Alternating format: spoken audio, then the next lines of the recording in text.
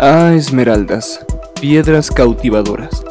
Es algo indiscutible que dentro del ser humano hay una ambición por todo lo que tenga un alto valor, una fiebre que produce un deseo incontrolable por poseer todo lo que puede o no estar a nuestro alcance, y más aún cuando su valor es exorbitante. ¿Oíste hablar de la fiebre del oro? Bien, hay una para las piedras preciosas, en este caso la de las esmeraldas. Se propaga como un virus entre la gente más poderosa del mundo con el único fin de demostrar cuánto dinero está a su alcance, tal como hizo Angelina Jolie con sus pendientes valorados en 2 millones y medio de dólares que lució en los premios Oscar. No sé tú, pero a mí me parecen preciosas las esmeraldas. Más allá de su valor son hermosas. Pero ¿sabes cómo se forman? ¿Dónde se forman? ¿Conoces las historias sangrientas que hay detrás de ellas? ¿Y cuáles son las más valoradas en el mundo? Para estas y otras incógnitas encontrarás la respuesta aquí. Así que, si quieres averiguarlo, quédate para descubrirlo. Cuanto más grande la piedra, más pasiones levanta. Naturalmente la esmeralda forma parte de este popular refrán, y no es extrañarse, su belleza puede cautivar a más de uno. La esmeralda básicamente es la variante verde del berilo, el berilo es un mineral cuyos cristales hexagonales pueden presentarse en tamaños de pocos centímetros a varios metros de altura. Según los elementos presentes en el cristal, su color variará. Y es que, cada variante en el color del cristal es considerado una gema diferente.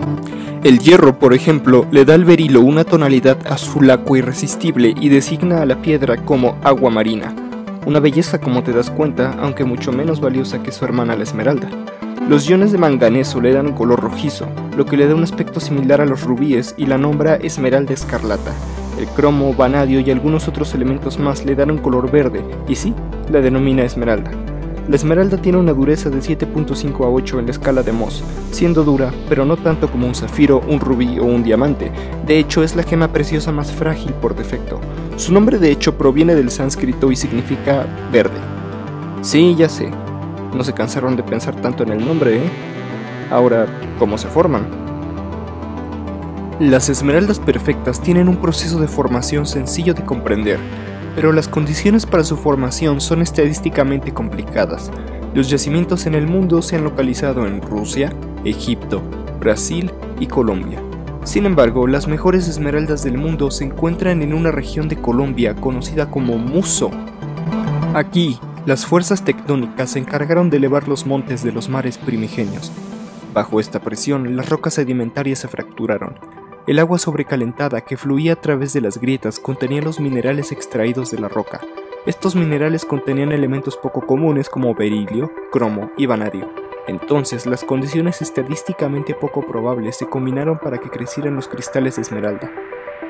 Además, la presencia de pirita u oro de los tontos en Colombia mantuvo al margen el hierro durante la formación de las piedras, haciendo que brillen con una fluorescencia natural, virtud envidiable para cualquier otra esmeralda en el planeta. Ahora, ¿cuáles son las esmeraldas más valiosas y o famosas del mundo? La Bahía. Esta esmeralda está manchada de una historia confusa. Sacada de la región de Bahía en Brasil, es probablemente la esmeralda más grande del mundo, valorada en 400 millones de dólares. Sus cristales son gigantescos, uno de ellos era del tamaño del muslo de un trabajador. Cinco personas aseguran ser dueños de ella. Nunca se ha podido vender a pesar de haber estado a la venta en muchas ocasiones. Un hombre llamado Thomas asegura ser su dueño original. Sus relatos ridículos, sin embargo, como que le fue vendida en 60 mil dólares, o que quemaron su casa para que perdiera su comprobante de haberla adquirido, o que todos conspiran contra él, le hacen perder credibilidad. El vendedor y uno de sus eventuales dueños tuvieron una disputa legal increíble, lo que solo produjo que estuviera custodiada por el gobierno de Estados Unidos. Estuvo en una bóveda en Nueva Orleans cuando el huracán Katrina azotó el país, siendo sepultada bajo el agua y en dos meses rescatada, y ahora en la bóveda del sheriff en Los Ángeles. Los implicados la han apodado la piedra maldita. En fin, es todo un embrollo aún hoy. Por otro lado, encontramos la esmeralda de Maximiliano, una preciosa esmeralda con una alta transparencia y color intenso de 21 quilates, que perteneció al archiduque Maximiliano de Habsburgo.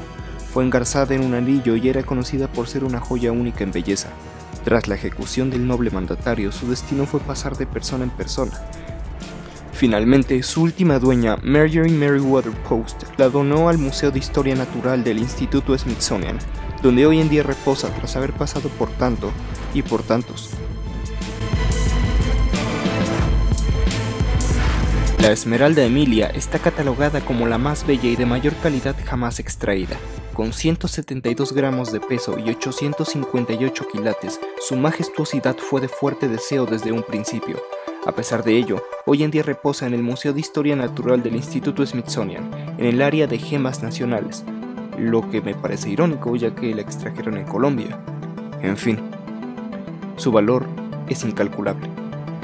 Y si has oído diamante de sangre, permíteme decirte que también existe esmeralda de sangre, ya que fue esta piedra la que financió a las FARC en un principio, al igual que otros grupos de crimen organizado. El comercio de esmeraldas permitió la compra de armas y el pago de nómina de ejércitos privados del crimen organizado en Colombia, y como te imaginas fue causante de muchos asesinatos. Hoy en día no han cambiado mucho las cosas. Los territorios de potencial extracción de esmeraldas son de quien más violencia ejerza y más sanguinario se comporte, dejando muchos daños colaterales entre las comunidades aledañas, traducidos en vidas humanas y explotación. La droga y el manejo de gemas es una lucha entre autoridades y delincuentes en este país, y es que mucho se queja la gente de que viven a merced de esperar un milagro. Y no es de asombro, cuando estas piedras entran a territorio estadounidense su valor se cuadriplica, haciéndolas objeto de deseo con el fin de obtener financiamiento para los peores delincuentes del crimen organizado en el país. La gente intenta subsistir buscando pequeñas esmeraldas en los ríos aledaños a las minas, que son arrastradas entre los desechos provenientes de las zonas de extracción. A algunos les permite vivir alimentándose y comprando lo esencial. Triste, muy triste. Bien, Hemos visto relatos increíbles y la información esencial sobre estas hermosas gemas. Al final, no todo lo que brilla es oro.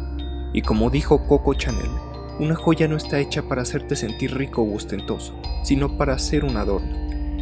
A pesar de ello, la gente muere diariamente por objetos que los harán ver ricos y ostentosos. Irónico, ¿no? Este fue el video de la semana, si te gustó y solo si te gustó te pido que dejes tu like, te suscribas y me dejes en los comentarios si te gustaría que hiciera un video o una serie sobre los diamantes o sobre los zafiros y rubíes o cualquier otro tema. Si es primera vez que ves uno de mis videos te sugiero checar mi contenido a la fecha. Gracias por tu atención. Espero haya sido de tu agrado el contenido. Corto y cierro. Pasa un buen día. Que Dios te bendiga.